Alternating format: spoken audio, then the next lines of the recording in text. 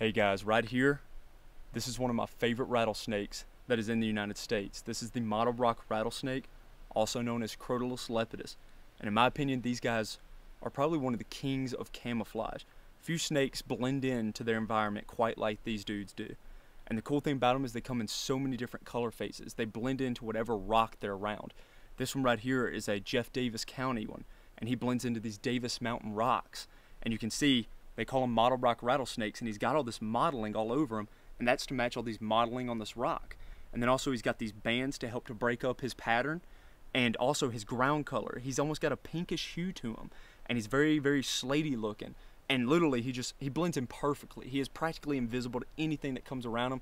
And if you don't got a good eye, you'll clearly walk by this guy. And deaths aren't common by this dude, if any at all. There, I'm pretty sure there hasn't even been single recorded death by this snake in the state of Texas maybe even the United States. And that's just because since they are found here, not very many people come in contact with them. The only people who are bitten by them are people who usually try and capture them, or if they're not paying attention or rock climbing, they'll get bit by them that way, sticking their hand in a crevice that they don't necessarily look into. And these dudes use these crevices for hunting. What they'll do is they'll coil up inside the crevice and they'll get in that S pattern. And as soon as a lizard walks by, because that's their primary prey item is a spiny or a crevice lizard, they'll just launch out, bite them, wait for the venom to take its place, and then they'll go over and engulf them. And then another common way that I see them hunt is at the bottom of a mountain or the bottom of a rock cut. They'll sit there in the coil up right at the bottom in a big S shape. I mean, their entire body will be in an S shape. And that's just to give them a very extensive far launch. They want to be able to strike as far as they can so they can get a lizard if he comes down the side or directly down to them. So they'll wait for the lizards to come down to the bottom and then they'll just strike out, bite them. Once again, wait for their venom to take its place and they get them that way.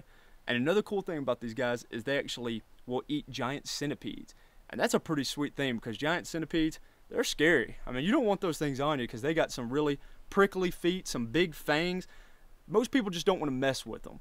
And these guys will actually strike out. They usually bite them about two or three times and then they pull their head away because you don't want to get anywhere near that guy when he's upset because he'll latch a hold of you and he'll give you heck for it. And so they'll wait for that venom to take place and then just go swallow them just like any other prey item. It's pretty dang effective and uh, just a gorgeous pit viper. And you can see he's actually got a pretty good bit of rattles. I mean, this is a, a decent sized mottled rock rattlesnake. And uh, whenever I say decent size, I'm sure most people are like, that dude's small.